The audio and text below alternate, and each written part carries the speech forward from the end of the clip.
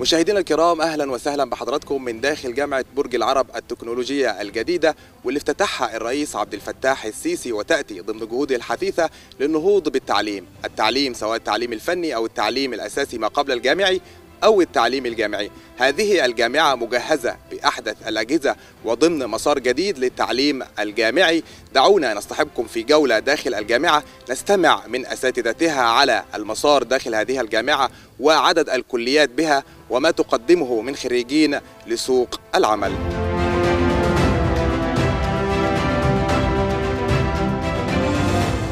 النهارده احتفالية كبيرة بتشريف سيادة الرئيس. جامعة برج العرب التكنولوجية مقامة على 10 فدان وفيها كليتين كلية العلوم الصحية وتكنولوجيا العلوم الصحية وكلية تكنولوجيا الصناعة والطاقة. كلية تكنولوجيا العلوم الصحية فيها أربع أقسام اللي هو كلية الصناعات الدوائيه قسم الصناعات الدوائية وقسم تركيبات الأسنان وقسم تكنولوجيا التمريض وإدارة المستشفيات.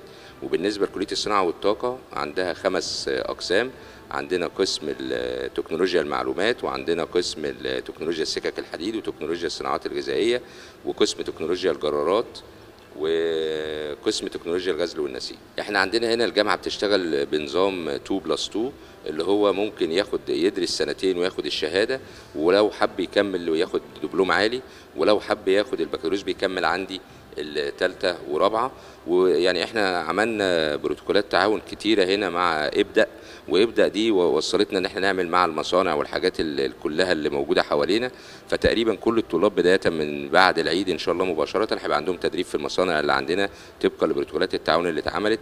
بالإضافة إن إحنا عندنا كمان بروتوكولات تعاون عالمية الجانب الروسي جالنا من حوالي أسبوعين ثلاثة وبص على الجامعة بحيث إن إحنا نعمل تكنولوجيا صيانة المفاعلات النووية للحاجات اللي هتخدم إن شاء الله على مفاعل الضبعه وخدنا وعد من معالي الوزير ومعالي الرئيس إن إحنا نبقى عندنا إن شاء الله توسعات لخدمة هذه المشاريع اللي بتخدم البلد في التكنولوجيا وفي الصناعة اللي إحنا بنفتقدها واللي إحنا اتأخرنا فيها كذا سنة بس الحمد لله إحنا بدأنا نعمل الكلام ده. وجامعة برج العرب مش هي بس الجامعة التكنولوجية الوحيدة.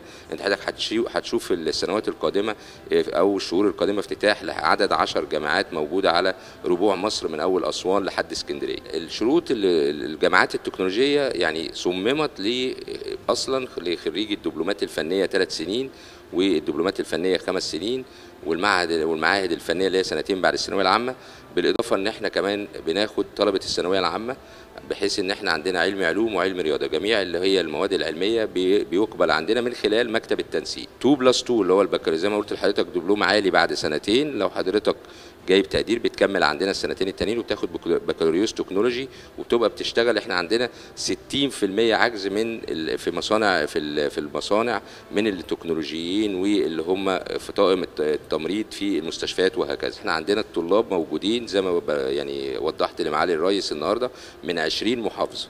يعني عندي هنا 60% من اسكندرية و40 و40% مغتربين.